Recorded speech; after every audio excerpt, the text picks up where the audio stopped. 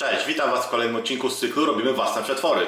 W dzisiejszym odcinku zaprezentuję Wam wyśmienity pasztet. Pasztet, który możemy zrobić, jeżeli na przykład nie wiecie co zrobić yy, z warzyw, które Wam zostały i mięso, na przykład z rosołu. Wtedy musimy tylko dokupić sobie jeszcze wątróbkę i możemy zrobić taki wyśmienity pasztet. Jak widzicie z tyłu, mam już go tutaj zapasteryzowany w słoiczkach. Możemy sobie go przechowywać yy, dość długi czas w chłodnym miejscu i później taki pasztecik wyciągamy i smarujemy sobie nim kanapki. Pasztecik naprawdę rewelacyjny. Zapraszam na film, pokażę Wam krok po kroku, jak taki pasztet zrobić. Oczywiście po filmie zostawcie łapkę do góry, napiszcie mi komentarz, jakie wersje takiego pasztetu robicie. Nie zapomnijcie oczywiście o subskrypcji i o dzwoneczku, który powiadomi Was o moich kolejnych filmach. A teraz zaczynamy. I od czego zaczniemy? No jeżeli rosół mamy na przykład z dnia wcześniejszego, więc nie musimy już tego tutaj przygotowywać. Ja dzisiaj tutaj wszystko zrobię od podstaw, tak jak to właśnie powinno wyglądać. Czyli można powiedzieć, że musimy sobie dzisiaj przygotować yy, rosół. Rosół, można powiedzieć, będę gotował identycznie tak jak robię każdy tradycyjny rosół, z tym, że będę go gotował po prostu troszeczkę yy, krócej niż zazwyczaj to robię. Potrzebujemy trochę mięsa z kurczaka, ja mam tutaj pałki i łódka i mam też trochę wołowinki. No i oczywiście warzywa, takie jak na rosół. Warzywa sobie teraz tylko yy, wyszoruję. Skórki oczywiście obierać nie będę. Z pietruszką tak samo. Cebulkę sobie tylko obiorę. No i mięso przygotowane. Umyte, wymoczone trochę nawet. Warzywa też tutaj yy, są tylko wyszorowane. Od czego teraz zaczniemy? No teraz stawiamy sobie wodę na gaz. Wodę mam stawioną. Ja mam tutaj tej wody tak mniej więcej około pół garka, około 3 litry, może nawet trochę więcej. Na początek jedna łyżeczka soli. Teraz dodamy mięso, czyli pałeczki i łódka. I ja Wam na początku nie powiedziałem, tego mięsa z kurczaka mam tutaj około 1 kg. I jeszcze musimy teraz też dodać oczywiście wołowinkę. Dobrze by było, gdyby wołowinka była trochę właśnie taka, jak widzicie, z tłuszczykiem. I teraz nie dodajemy tutaj żadnych warzyw. Będziemy sobie tutaj teraz to gotować i jak zacznie nam się to gotować, tu takie szumy się wytworzą. Pozbieramy sobie te szumy i dopiero wtedy dodamy warzywa. Więc zaczynamy gotowanie. Proszę zobaczyć, zaczyna mi się tutaj to wszystko gotować. Widzicie tutaj tą piankę? To są właśnie te szumy, o których mówiłem. Teraz musimy to wszystko tutaj zebrać. Ja to robię takim sitkiem. Można to też zrobić ręcznikiem papierowym, ale jak będziemy to robić ręcznikiem, możemy zebrać też oczka tłuszczu, a ich nie chcemy się pozbywać. Także sitko jest tutaj najlepsze. No i mniej więcej to właśnie tak powinno wyglądać. No co nam tutaj zostało? Tylko oczka tłuszczu. No co teraz robimy? Dajemy teraz wszystkie warzywa. Dodam tylko, że gaz już mam zmniejszony i teraz będę to gotował naprawdę na bardzo malutkim ogniu. Tak jak widzicie, seler, marchewka czy pietruszka, wszystko daję tutaj w całości. Normalnie boję się, że zaraz mi tutaj to wszystko wykipi. Ale została mi jeszcze tylko cebulka. Proszę bardzo. I teraz, tak jak już mówiłem wcześniej, gotujemy to naprawdę na bardzo małym ogniu. No i proszę Państwa, gotuję to już tak dobre 40 minut od momentu, gdy rzuciłem warzywa. I proszę zobaczyć, jeszcze trochę tutaj pokazały się te szumy, więc jeszcze je trochę tutaj sobie zbiorę. No i gotowe, szumy zebrane. I teraz na sam koniec, co możemy tutaj jeszcze dodać? Dwa liście laurowe, cztery ziarenka ziela angielskiego. I teraz pogotuję to maksymalnie jeszcze jedną godzinkę. Oczywiście na takim samym ogniu jak do tej pory. Czyli ten rosołek tylko delikatnie sobie tutaj bulgocze. I za godzinkę powiem, co zrobimy dalej, czyli dokładnie za sekundkę u Was. Proszę Państwa, no mój wywarek, rosołek jest gotowy. Co ja teraz zrobię? Gaz mam już odłączony. Teraz muszę wyłowić całe mięso, które tutaj mam i wszystkie warzywa. No i proszę bardzo, warzywa mamy już tutaj na osobnej misce. Niech teraz sobie trochę odparują, bo są jeszcze gorące, więc teraz mięsa nie będę mógł obierać z uwagi na to, że jest bardzo gorące. A tutaj mamy rosół. No można powiedzieć, że upiekliśmy dwie pieczenia na jednym ogniu. Bo z tamtych warzyw i z mięsa zrobimy sobie pasztet, a tutaj mamy naprawdę wyśmienity rosołek. Co ja z tym rosołkiem zrobię? Ten rosołek jeszcze będziemy potrzebować trochę do pasztetu, bo musimy ugotować sobie wątróbki. Przelewam sobie tutaj trochę tego rosołu do drugiego naczynia. Tego rosołu musimy przelać sobie tyle, tak, żebyśmy sobie tutaj zanurzyli wszystkie wątróbki, które będziemy tutaj gotować. Ja wątróbek mam około 800 gramów i tyle właśnie będziemy tutaj gotować. Wątróbki, jak widzicie, ja już mam oczyszczone. Jeszcze je sobie tutaj moczę. Moczyłem je chyba w zimnej wodzie do około y, jednej godzinki, może nawet półtora godzinki. Teraz sobie tylko tą wodę odleję i zaraz zagotujemy sobie wątróbki. No i proszę zobaczyć, wątróbki w rosołku. Y, Co teraz zrobię? Wsypię tutaj łyżeczkę soli.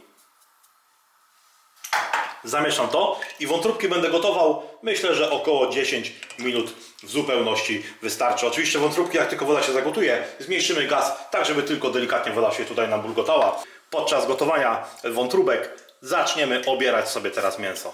I proszę Państwa, mięso mam przygotowane, obrane. Tak, tutaj widzicie, mamy wołowinkę, warzywa osobno. I teraz co zrobię? Pora odłożę, bo pora nie będziemy dawać do pasztetu. I teraz pozostało nam tylko poczekać za wątróbką. No i wątróbka ugotowana, proszę zobaczyć jak ona pięknie wygląda. Oczywiście wątróbkę też możemy ugotować w samej wodzie, ale jak ugotujemy ją na bujloniku, ona jest jeszcze lepsza, a przecież z tej wątróbki będziemy robić właśnie pasztecik. Co teraz zrobimy? Teraz musimy poczekać, aż to wszystko sobie wystygnie. Możemy to sobie nawet zostawić na noc w chłodnym miejscu i dopiero na drugi dzień możemy zacząć przyrządzać y, z tego pasztet. Ja teraz też to sobie właśnie zostawię na kilka godzin, żeby to dobrze wszystko wystygło i wrócę do Was za sekundkę i już Wam mówię, co z tym robimy dalej. No i proszę Państwa, całą noc to wszystko trzymałem w chłodnym miejscu. Proszę zobaczyć, wszystko wystudzone, nie śpieszyło mi się, więc mogę sobie na takie coś pozwolić. Teraz zaczniemy sobie to wszystko mielić. Yy, Tutaj chciałbym Wam pokazać, że ja to będę mielił na tych oczkach, yy, bodajże to jest chyba 3,8 mm i na takich oczkach właśnie będę to mielił. Oczywiście możecie zrobić to na ciutkę grubszych oczkach, ale myślę, że to jest właśnie optymalny rozmiar. Jak będę to wszystko mielił? Będę to mielił mieszając. Raz dam wątróbkę, raz dam tutaj trochę mięsa, raz dam warzywa. Później będzie mi też to tutaj wszystko dużo łatwiej wymieszać. No to zaczynamy mielenie. No i proszę bardzo, jak widzicie, wszystko tutaj mamy już ładnie zmielone. I teraz tak, wszystkiego mi tutaj wyszło, przed chwilą sobie zważyłem, równiutkie 2 kg, no chyba tam plus 50 gramów.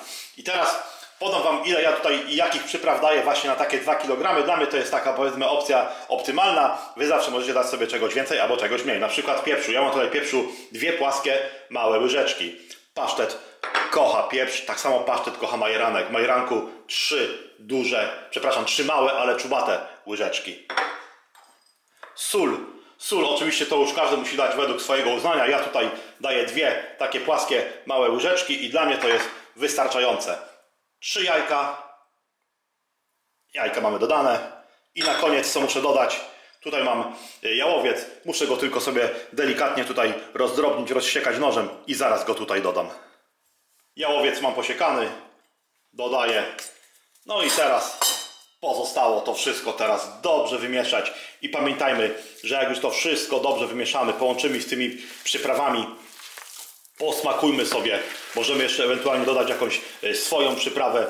Jeżeli ktoś byłby ciekaw, pytałby się w komentarzu, czemu nie dodaję bułki tartej. No ja do takiego pasztetu nie dodaję bułki tartej, bo nie widzę tutaj żadnego sensu dodawania w ogóle bułki tartej. Mieszamy dobrze i zaraz będziemy smakować, jak to smakuje. No i proszę bardzo, wymieszane. Dobrze tutaj wszystko przemieszałem. Proszę zobaczyć, jednolita konsystencja. Pasztecik wygląda rewelacyjnie. Posmakowałem go sobie. Smakuje po prostu wyśmienicie.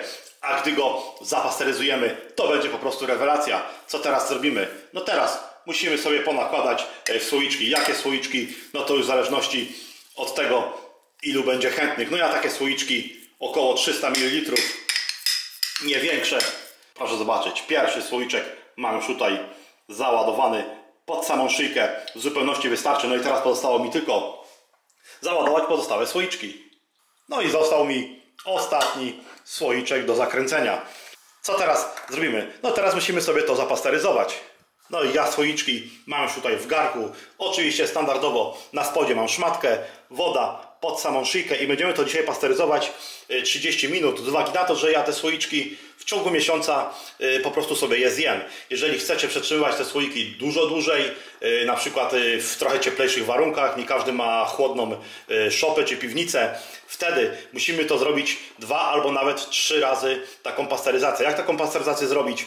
Zapraszam na mój kanał, jest tam film. Niedawno robiłem domową kiełbasę, tam właśnie szczegółowo pod koniec filmu opisywałem, jak właśnie zapasteryzować taką kiełbaskę, czy na przykład taki pasztecik, żeby mógł sobie długo, długo leżeć w szopie i nie muszą to być jakieś super chłodne y, warunki. Link oczywiście do tego filmu znajdziecie w opisie tego filmu, tak jak i cała receptura dzisiejszego odcinka. A teraz zabieramy się za pasteryzację i jak tylko zapasteryzuję, pokażę Wam jak to wygląda.